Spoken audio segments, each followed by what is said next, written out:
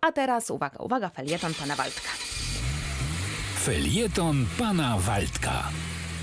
Waldemar Warchoł, nasz słuchacz, oto co pan Waldek napisał. Tytuł jak co roku.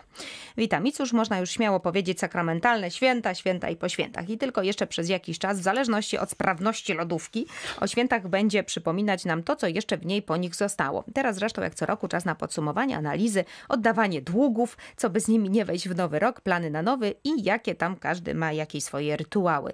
Ja generalnie nic z tych rzeczy nie wprowadzam w życie, chociaż przez lata udawało mi się podtrzymywać tradycję przejażdżki motocyklem Sylwestra, ale od jakiegoś czasu zaniedbałem ją.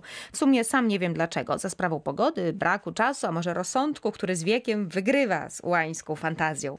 Co tu dużo się rozwodzić? Nowy rok oznacza coraz większą rozbieżność z aktualną datą, a naszym peselem. Ale to wcale nie jest dramat, wręcz ma swoje plusy. Tylko pomyślcie, taki młody zaczyna swoją karierę za kółkiem. Oczywiście zaraz po zdobyciu uprawnień przez jakiś czas jest najlepszym kierowcą na drodze. Jeździ zgodnie z przepisami, kulturalnie, czytelnie i bezpiecznie. Ale jak tylko trochę okrzepnie, no to się zaczyna rumakowanie, szaleństwo i popisy. Wydaje mu się, że jest już doświadczonym kierowcą. W młodym wieku górę biorą emocje, fantazja i pokusa rywalizacji. I gdyby rywalizacja kończyła się tylko na etapie tuningu, nawet nie tylko wizualnego, to jeszcze pół biedy. Ale często to jest rywalizacja na drodze, gdzie miarą jest ilość wyprzedzonych aut, najszybszy czas przejazdu danego odcinka lub trasy, czy wyciśnięcie maksymalnej prędkości. A jeśli ma się już swoje latka, to możesz, ale nie musisz ulegać takim zaczepkom. Można spokojnie i dostojnie sunąć po drodze, najwyżej zimny łokieć.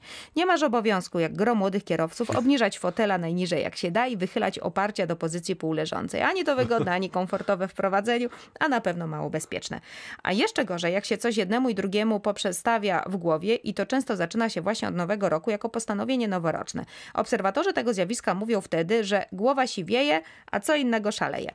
To najczęściej występuje u celebrytów, choć nie tylko. Generalnie uważam, że jeśli tymi swoimi gadżetami i pomyłką w odczycie własnego PESEL-u nie robią nikomu krzywdy, to co komu do tego? Ale wracając do tematu, koniec roku to dobry czas, żeby jednak na chwilę się zatrzymać i zadumać, czy jestem z siebie zadowolony, zadowolona, czy mój styl jazdy jest taki, jak powinien.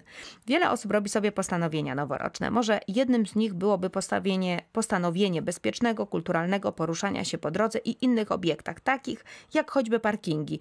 Niczym w przysiędze, choćby lekarzy, przede wszystkim nie szkodzić. Tu w tym przypadku w ruchu lądowym.